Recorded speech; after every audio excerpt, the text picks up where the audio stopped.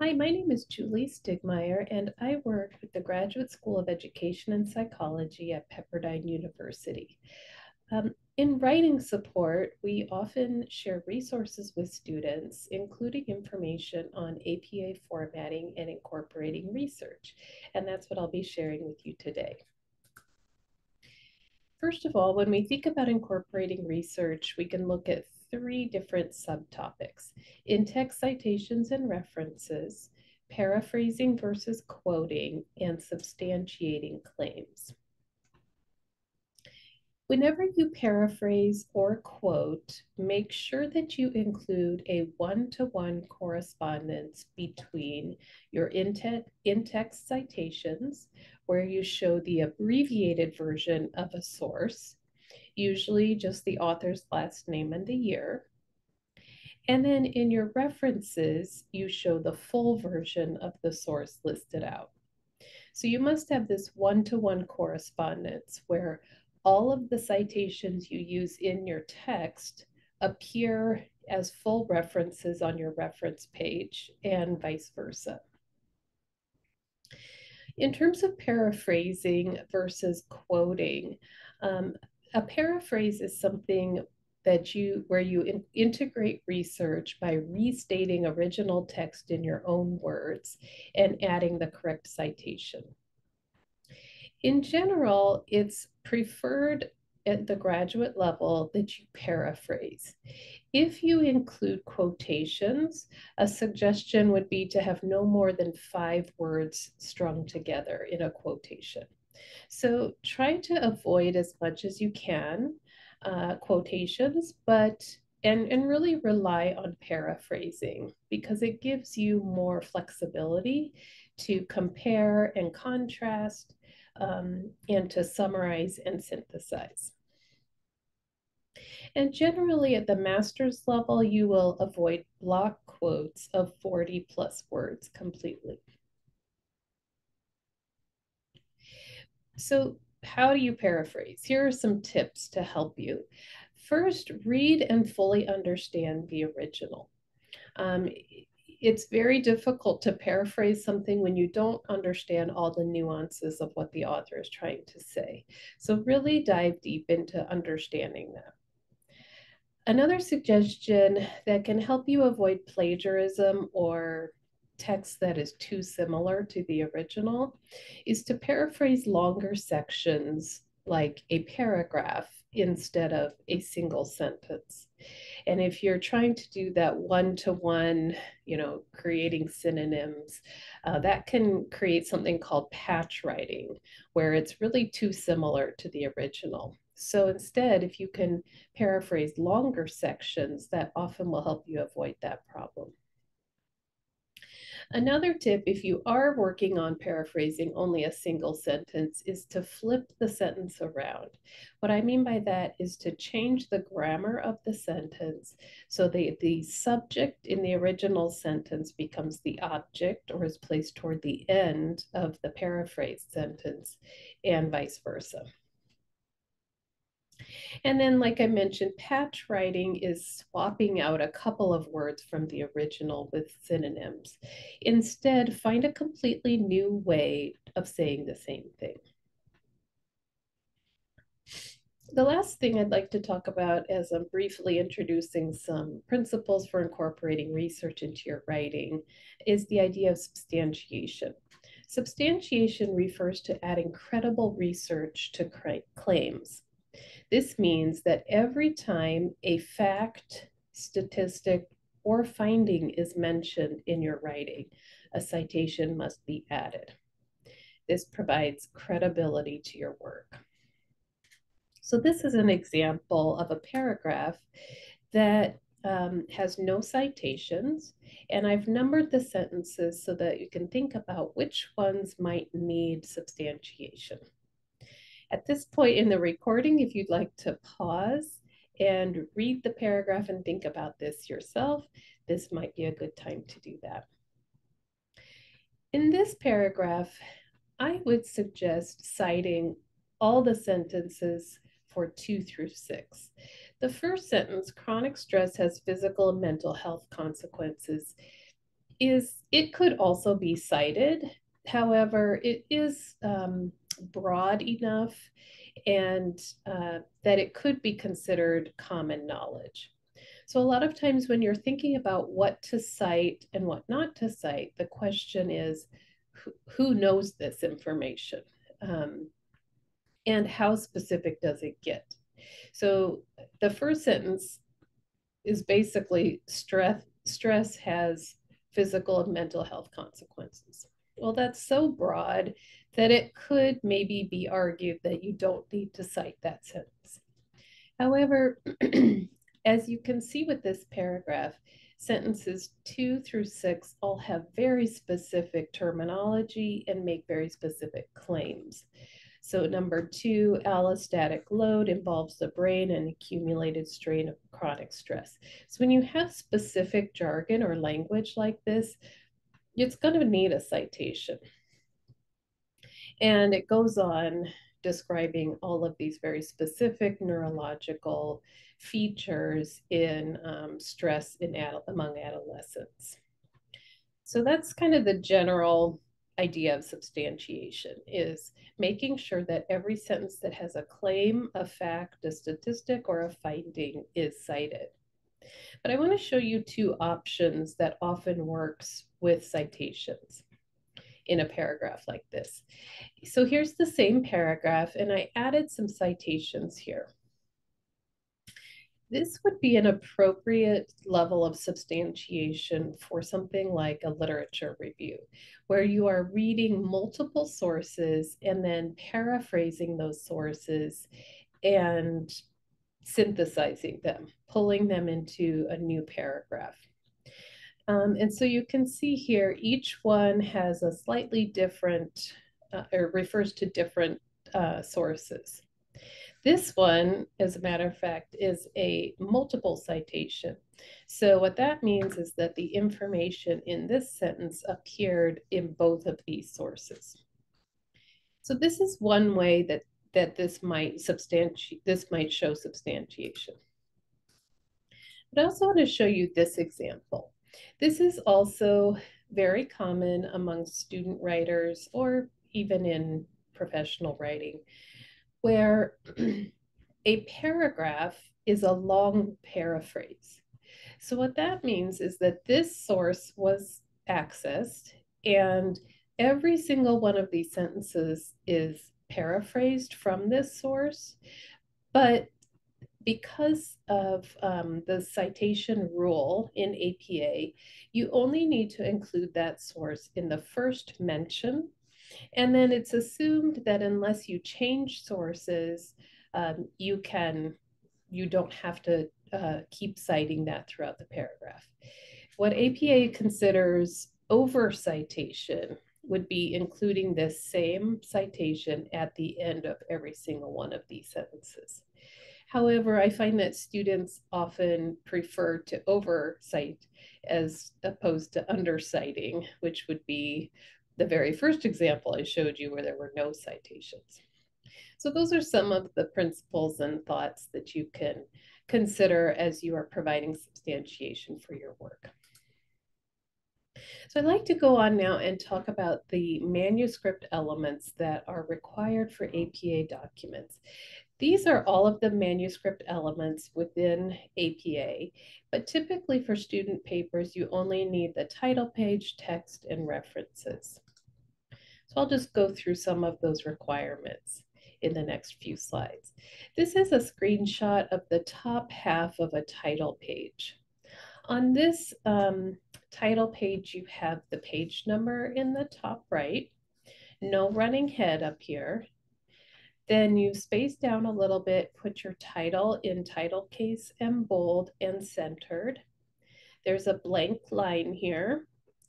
Then you have your name, your school, um, your course and the course name, your professor's name, and the date. And notice that all of this is in double spacing. The whole APA document is double spaced. There are just a few extra blank lines on the title page, including one here between the title and your name. So let's talk about the text. There are a number of things to consider when you begin your text, which usually starts on page two. You continue with the page number in the top right. You add the title a second time, centered, bolded, and in title case. And then you can see that this is all double spaced and there's first line indentation for each of the paragraphs. Also, you always have one inch margins with APA formatting, and that's usually the default on Google Docs or Microsoft Word. Another feature of the text is regarding levels of headings. Um, levels of using headings is actually quite helpful in your documents to designate sections or you know identify sections where the information is broken down in your work. And there are multiple levels of headings. In APA, there are five, as a matter of fact. Typically, I st see students use two or three levels of headings in longer papers, maybe 10 or 15 pages. Um, and I just want to show you how this works because it's really helpful for you to see the organization of your paper kind of at a glance.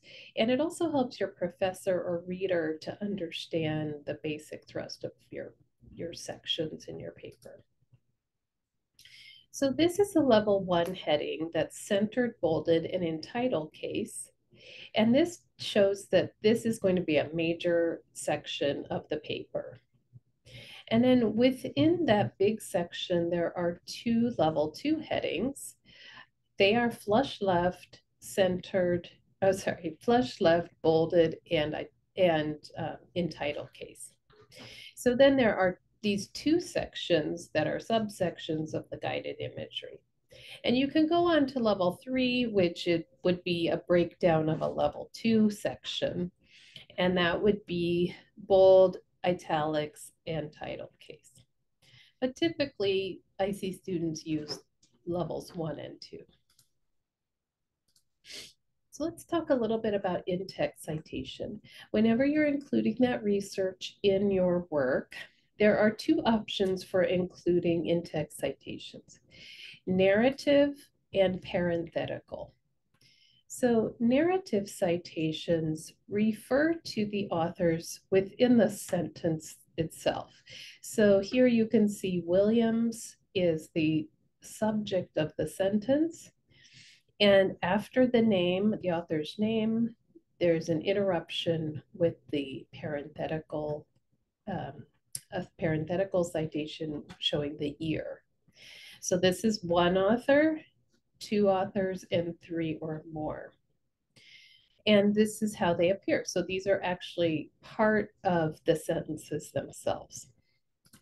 Whereas down here, you can see that the sentence is just a paraphrase and there is no reference to the name of the author within the words of the sentence. So then what you do is you put parentheses at the end and add the author's last name and the year. So this is what it looks like for one author. This is for two authors. And notice the difference here with a narrative um, citation with two authors, you spell out the word and. With a parenthetical citation with two authors, you use an ampersand. But with both of them, from the very first time you mention this source, if there are three or more authors, you use the last name of the first author and this Latin abbreviation et al. And you just spell it ET space AL period. And it looks the same down here, it's just within that parenthetical citation. So these are the two options you have to choose from within text citations. Um, and these are for paraphrases. If you include a specific part of the source, you might be in your professor might ask you to include a chapter number or a page number. So whenever you use a quotation, you must include also that page number. The last section we're going to talk about are the references. And this is a screenshot of part of a reference page. You can see up here at the top, the page number continues. The word references is centered and in bold. Everything is continued to be double spaced. Um, instead of that first line indentation, we actually have hanging indent, which means that the first line of the new reference is on is flush left, and then any following lines are indented.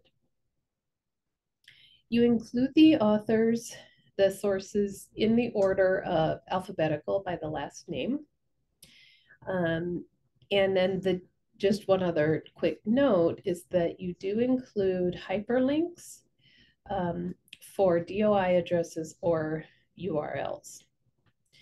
So that's kind of the basic structure, alphabetical order by last name of the author, hanging indent, double spaced, DOI addresses are hyperlinked. These are three examples of journal article references. And I want to point out a couple of things here. Notice um, how these authors appear. You have last name, first initial, and it's kind of fussy. So you have last name, comma, space, first initial, period, comma, space, and then you go on to the next one. If you have multiple initials, like this one is a first initial and a middle initial. You put the author's last name, comma, space, the first initial period, space, second initial or middle initial period, and then a comma, and you go on. So that's how you, you work with the authors.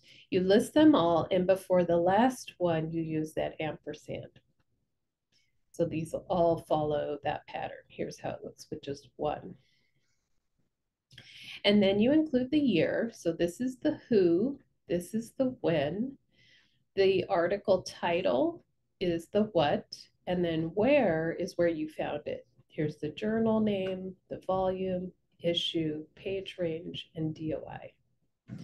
So with the year, all these are the same. You just put them in parentheses with a period after. Article titles have um, sentence case capitalization.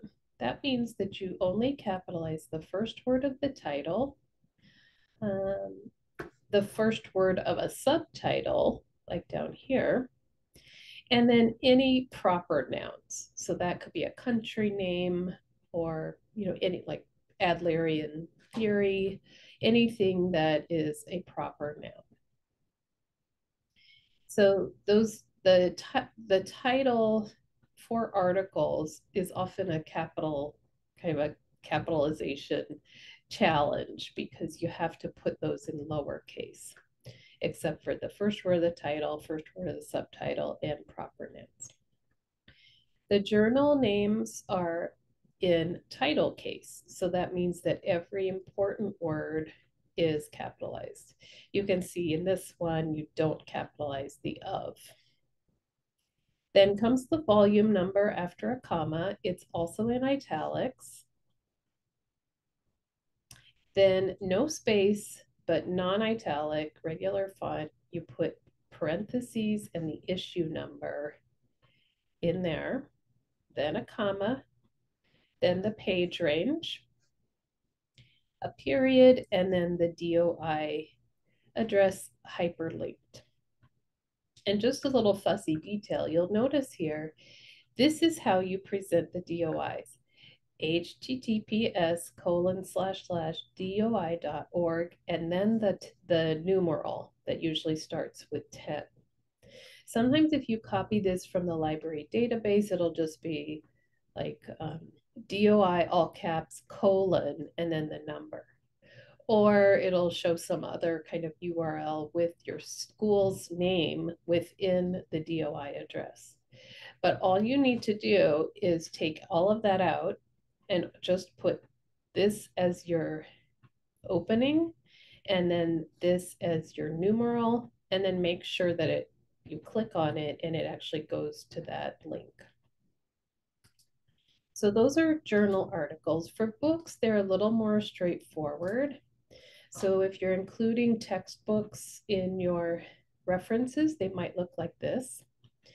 Here's a book with one author, similar formatting for the author and year. For book titles, it's very similar to article titles, although it is italicized. So you'll only capitalize the first word of the title, the first word of the subtitle, and any proper nouns. And then the last thing you put is the publisher. So those are pretty straightforward and easy. There are other, the, the main thing about references to keep in mind is that for every different type of content, like TED Talk, YouTube video, PowerPoint slide, uh, book, journal, for every single different type of content, you set up the reference differently. So it's always good to look at models like this um, for mm, to make sure that you're setting yours up correctly. As a bit of practice, you could stop this the video here and take a look at this source and try to figure out how you could make sure this is in APA format. This would be the correct way to set up this source. So you notice here the first names are listed in AP, APA format. And you only list the initials. So here's the last name, first two initials, last name, first initial. Then you have your title of the article. Only the first word is capitalized. Then the journal name with uh, italics and title case the volume number, the issue, the page range, and that DOI address that is hyperlinked. If you were to refer to these in citations in the paper, they would look like this.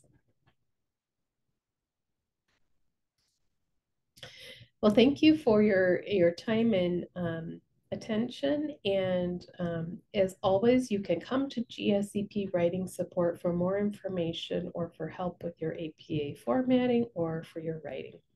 Until next time, happy writing.